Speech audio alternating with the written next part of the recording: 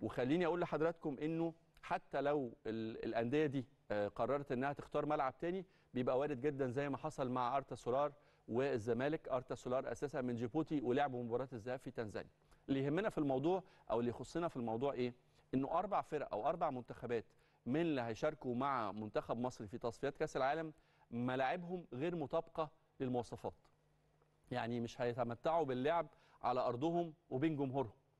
فبالتالي اتحاد الكرة المصري وحقيقه دي نقطة تحسب ليه إنه اتحرك من بدري شوية إنه يتواصل مع الأربع منتخبات دول عشان يستضيف مبارياتهم اللي هيواجهوا فيها منتخب مصر هنا. وليه لأ حتى مبارياتهم الثانية يعني الموضوع package لو في النهاية أفيد وأستفيد. أقدر إن أنا أقدم package أقدر إن أنا أقدم ومصر إمكانياتها تسمح بده. فكرة إنك تقول لمنتخب زي إثيوبيا أو جيبوتي أو آه، سيراليون أو غينيا بيساو إنه تعالوا يا جماعة العبوا عندنا هنا في مصر مباريات اللي أنتوا هتواجهوا فيها منتخب مصر والمباريات اللي أنتوا هتواجهوا فيها المنتخبات الثانية ليه لأ؟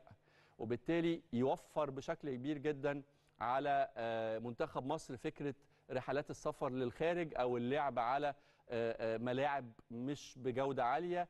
فكرة كمان إنك أنت تقدر تقدم له آه، يعني مش عايز أقول إغراءات ولكن تسهيلات خليني أقول نسميها تسهيلات فكرة إنه يبقى تذاكر أنت كده كده لو منتخب مصر طالع بعثة منتخب مصر بتتحرك بيبقى عندك آه، سفر وتكلفة سفر وتكلفة إقامة وتكلفة تغذية ومعسكر كامل بيبقى قبل المباراة مهمة جدا زي مباريات آه، تصفيات كأس العالم. فليه لأ؟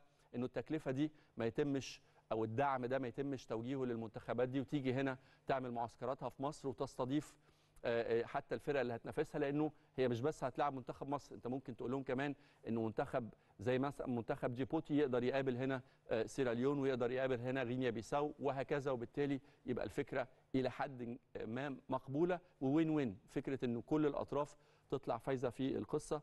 في جميع الأحوال سواء لعبنا هنا أو لعبنا بره أعتقد إن إحنا أمام فرصة عظيمة جدا للتأهل إن شاء الله لبطولة كأس العالم في 2026